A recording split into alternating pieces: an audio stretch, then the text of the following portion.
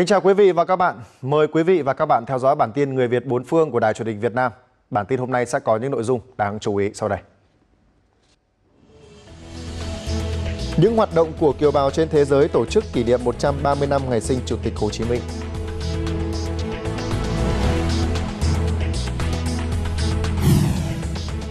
Tình cảm của nghệ sĩ Bangladesh với Chủ tịch Hồ Chí Minh khi thực hiện tác phẩm tái hiện cuộc đời người mang tên Người đi tìm ánh sáng. Tình hình người Việt tại Ấn Độ trong giai đoạn nước này phong tỏa lần thứ tư khi trở thành điểm nóng về dịch Covid-19 tại châu Á.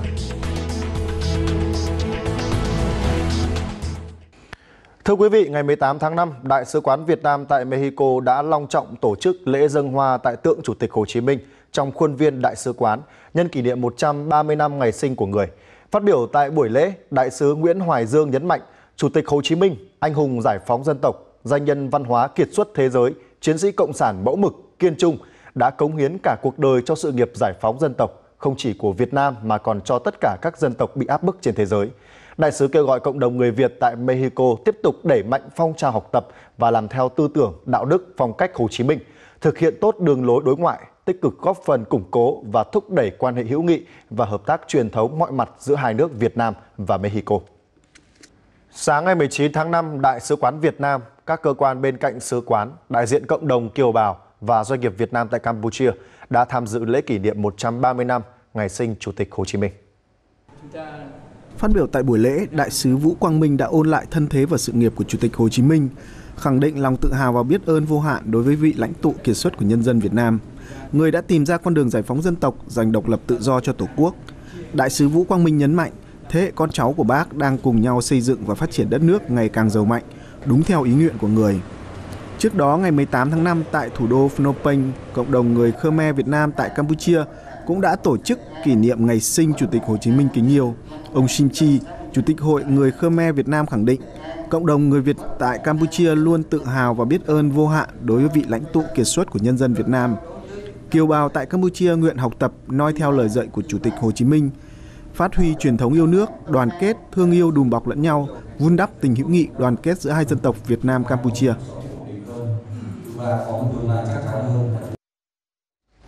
Còn tại làng Siêng Vàng, huyện Nỏng Bốc, tỉnh Khăm Muồn, Trung Lào, ngày 19 tháng 5, Đại sứ quán và Tổng lãnh sự quán Việt Nam tại Lào đã phối hợp với các cơ quan chức năng của Lào tổ chức lễ dân hương kỷ niệm 130 năm ngày sinh Chủ tịch Hồ Chí Minh. Và đây là nơi Chủ tịch Hồ Chí Minh từng hoạt động xây dựng phong trào cách mạng trong những năm 1928-1929.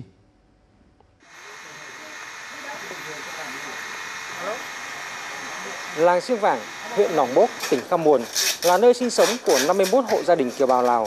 Trong đó, phần lớn là thế hệ kiều bào thứ ba, thứ tư. Năm nào cũng vậy, một ngày trước khi diễn ra lễ kỷ niệm ngày sinh nhật Bác, người dân ở đây lại làm các món bánh truyền thống của làng như bánh trưng, bánh gai và bánh tét để dâng lên người. Là thế hệ kiều bào thứ ba, chị Hà cho biết ngoài dịp kỷ niệm ngày sinh nhật Bác, gia đình chị còn làm bánh trưng để dâng lên ban thờ người trong dịp Tết Nguyên đán và Quốc khánh mùng 2 tháng 9. Ngày sinh nhật của bác là mẹ gói bánh để dâng hương cho bác. Như mẹ chị rồi thì tình cảm gia đình với tôi cũng có cái tình cảm là được thấy mẹ làm khi hồi xưa đó là cùng làm theo.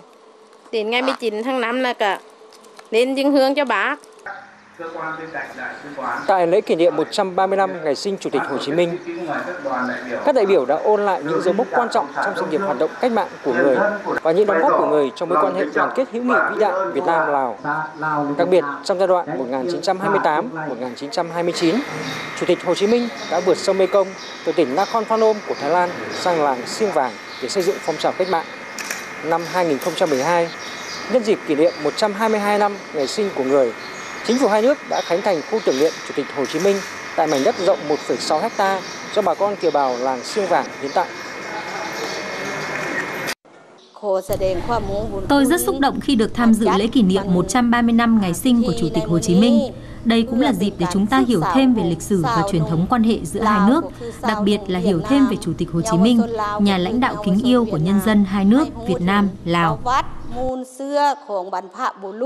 Khu lưu niệm Chủ tịch Hồ Chí Minh tại làng Siêng Vàng không chỉ là nơi ghi dấu ấn của một trong những địa danh bác đã từng hoạt động cách mạng, mà còn là địa điểm tham quan, du lịch, tìm hiểu về mối quan hệ hữu nghị vĩ đại Việt Nam Lào, Lào Việt Nam cũng như thể hiện lòng biết ơn, sự kính trọng và tình cảm của người dân Lào và cộng đồng người Việt Nam tại Lào dành cho Chủ tịch Hồ Chí Minh. Ngọc Phương, phóng viên truyền Việt Nam tại Khăm Muồn, Trung Lào. Cũng giống như kiều bào ở khắp nơi trên thế giới, cộng đồng người Việt tại Lào luôn ghi nhớ những lời dạy và dành sự kính trọng đặc biệt cho Chủ tịch Hồ Chí Minh. Nhiều gia đình người Việt tại Lào dù chưa một lần được gặp bác nhưng từ nhiều năm nay đã trao ảnh và lập bàn thờ người tại nhà. Dù cho văn hóa ở Lào không có tục lập bàn thờ trong nhà, đó như là một lời nhắc nhở các thế hệ con cháu ghi nhớ về quê hương đất nước và tình cảm của người đối với bà con kiều bào.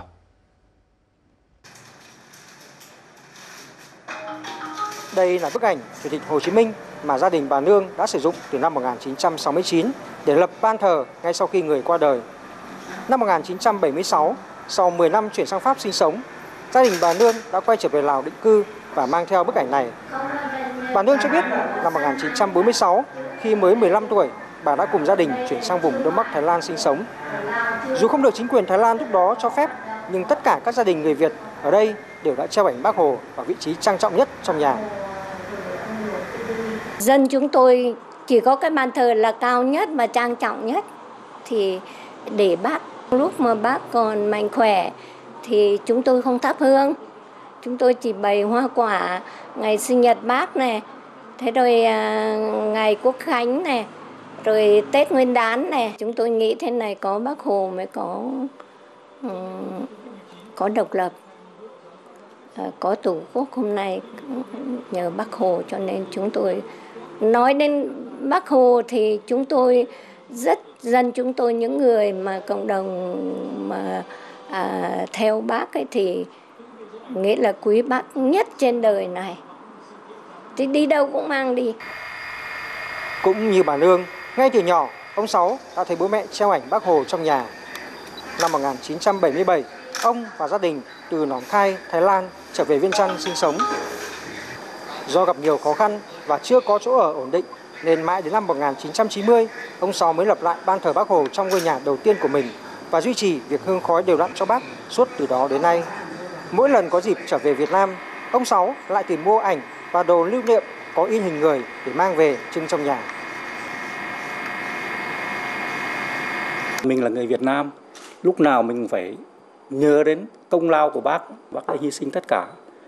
cả cuộc đời, nói chung là cả cuộc đời đấy, cho nhân dân. Đấy. Mình có cuộc đời hàng ngày này là, là chỉ vì bác Hồ, bác hy sinh cho chúng mình. Đó, hy sinh cho mình tất cả mọi cái. Mình làm theo bác, bác hướng dẫn thế nào mình làm theo bác.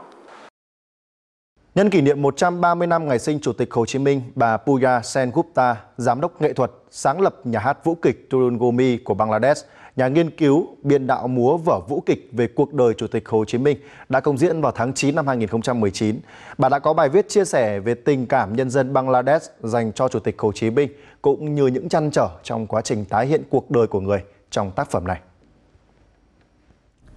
Trong bài viết, bà Sen Gupta chia sẻ, trong quá trình biên đạo vở vũ kịch về cuộc đời Chủ tịch Hồ Chí Minh, bà đã cảm nhận đông đảo người dân Bangladesh cũng ngưỡng mộ người giống như ở Việt Nam. Người đã trở thành hình tượng một chính trị gia đầy cống hiến trong lòng người dân Bangladesh. Theo bà Sengupta, để kể lại toàn bộ cuộc đời sự nghiệp của Chủ tịch Hồ Chí Minh chỉ trong thời gian 40 phút là quá khó. Tạo dựng một tác phẩm nghệ thuật cho khán giả quốc tế còn gian nan gấp bội vì là một tác phẩm mang tính nghệ thuật sân khấu chứ không chỉ đơn thuần là tả thực. Bà cho biết đã phải cố gắng rất nhiều để tìm cảm hứng. Hầu hết các động tác múa trong tác phẩm là những động tác mới được biên đạo trên sân khấu và lấy cảm hứng từ các điệu múa cổ điển, thiền và võ thuật. Bà Sengupta nhấn mạnh, đây thực sự là niềm tự hào nhưng cũng vô cùng áp lực. Bà cũng chia sẻ rằng trở thành một phần trong hành trình cách mạng của Chủ tịch Hồ Chí Minh thông qua sáng tạo nghệ thuật thực sự là một niềm tự hào của cá nhân bà các thành viên trong nhóm và của đất nước Bangladesh.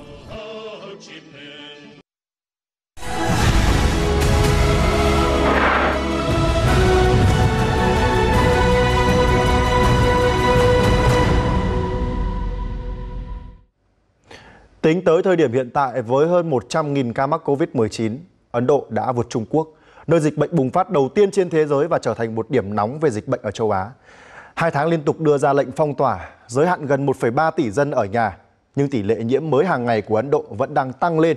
Điều này gây ra nhiều lo ngại cho hơn 700 người Việt đang sinh sống, học tập và làm việc tại đây. Và sau đây sẽ là những chia sẻ của họ sau khi Ấn Độ bước vào giai đoạn phong tỏa lần thứ tư.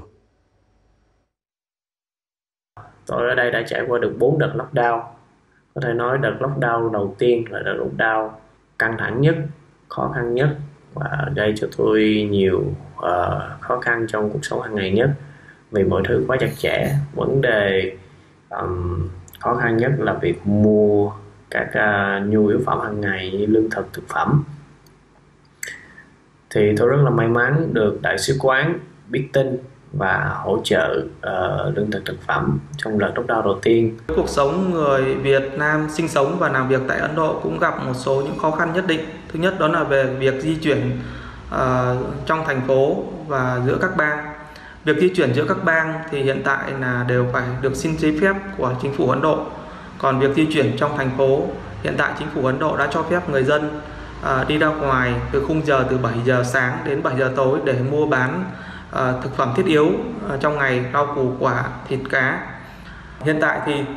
tất cả các shopping mall các rạp chiếu phim các nhà thờ đền thánh đều bị đóng cửa Tính từ ngày 16 tháng 5, Ấn Độ đã vượt qua Trung Quốc và trở thành ổ dịch lớn nhất khu vực châu Á. Về vấn đề này, là một người đang sinh sống và làm việc tại thủ đô Delhi, Ấn Độ, tôi cảm thấy khá là hoang mang và lo lắng. Vấn đề bùng phát của bệnh dịch ảnh hưởng rất nhiều đến nền kinh tế cũng như đặc biệt là cuộc sống của chúng tôi. Cũng may mắn là tôi vẫn có thể tiếp tục công việc của mình tại nhà và đảm bảo mức thu nhập hàng tháng. Và đương nhiên là theo như quy định của chính phủ thì chúng tôi cũng vẫn phải hạn chế ra khỏi nhà một cách tối đa tất cả những việc giao dịch mua bán, ví dụ như về các vấn đề nhu yếu phẩm thì đều thông qua các kênh đặt hàng online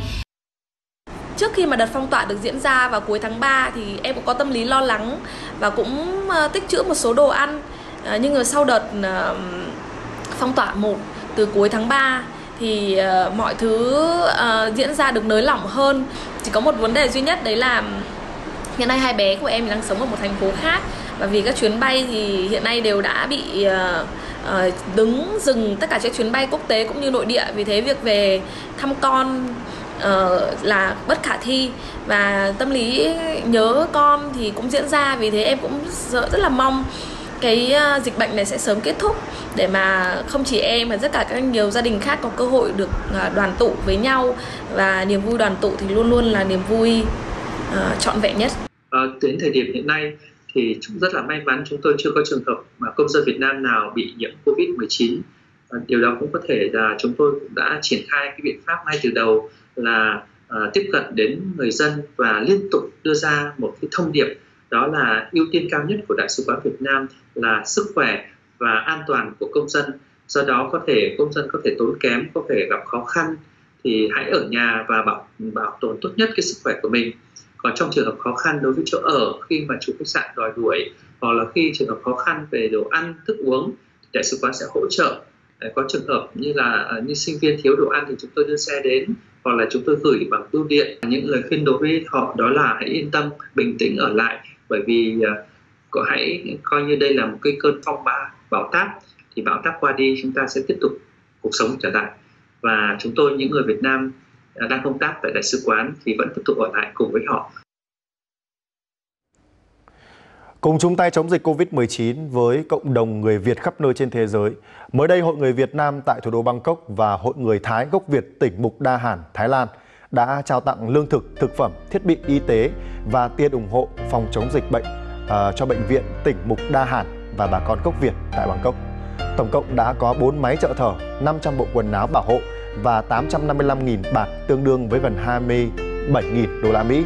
cùng nhiều thiết bị phòng chống dịch Covid-19 đã được Hội Người Thái gốc Việt tỉnh Mục Đa Hàn và gia đình ông bà Dương Thị Lan, Nguyễn Ngọc Thìn trao tặng cho Bệnh viện tỉnh Mục Đa Hàn. Bên cạnh đó, Hội Người Thái gốc Việt cũng đã gửi về Việt Nam hơn 1.000 đô la Mỹ để ủng hộ quỹ phòng chống dịch Covid-19 trong nước.